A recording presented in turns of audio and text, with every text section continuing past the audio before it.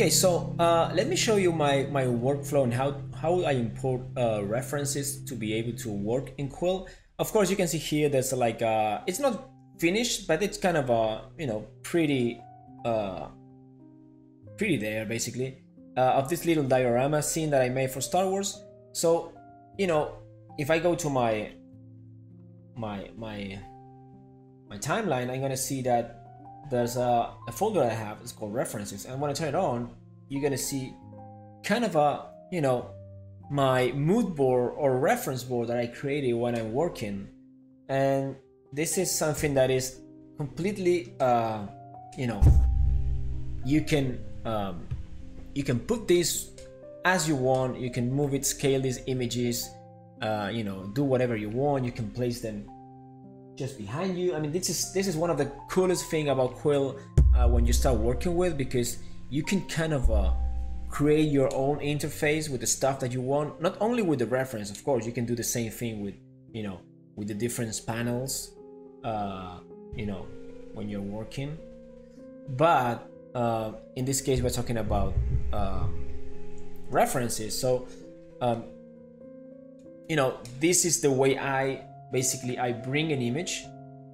So it's like, you know, I bring just an image uh, and I, you know, basically I can place it whatever I want. Now, you can also import not just images uh, to your scene, you can also import uh, 3D files. So in the case of the 3D files, you can, you know, if I want to import one, instead of clicking the new image layer, I will go with the new 3D model layer and I can bring um, I can go and fetch for one. Um, let me see canopy ground? Let me try to I'm gonna bring I mean an FBX that I have here. Um, I don't know exactly what it is but let me check.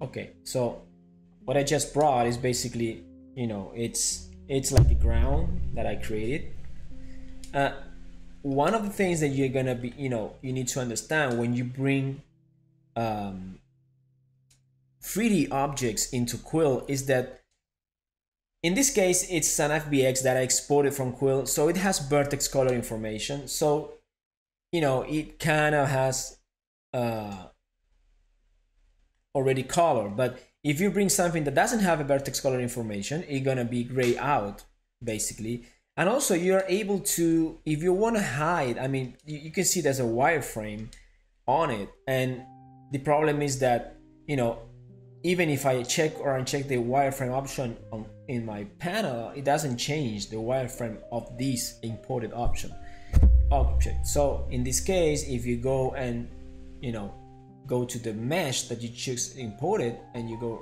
in the in the options here you can you can uncheck wireframe so basically you're gonna be able to uncheck it. I also you can put to kind of have a you know unlit as you can see it on quill but also it has a, like a, some sort of a smooth option where you can have like a fake you know um, occlusion or like a fake uh, light and shadow uh, it's it kind of gives volume to to the object. So uh, as you can see you know it is pretty cool to be able to just import um, you know an object from outside and you can place it. You're not going to be able to animate this you know to deform it.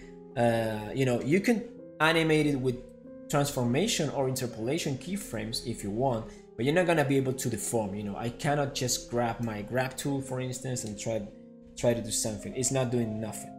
So it's just a reference. Um, for me, the best way to use this is when I'm working on a character and sometimes, you know, I just, uh, sorry, I just go and try to find, um, you know, like, uh, let me see if I have something that I could just take out from other place.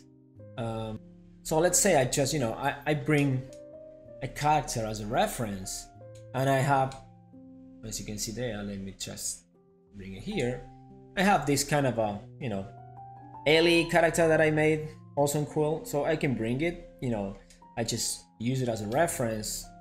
And in case I want to, you know, model a new character, I can use it, you know, as a as a reference you know so i can start modeling on top you can also you know change the opacity so you know it's just a reference that you can have just to guide you you know that's all uh, so yeah that's kind of a you know how you can import a reference is not only the the you know the 2d images but also uh, 3d elements to your scenes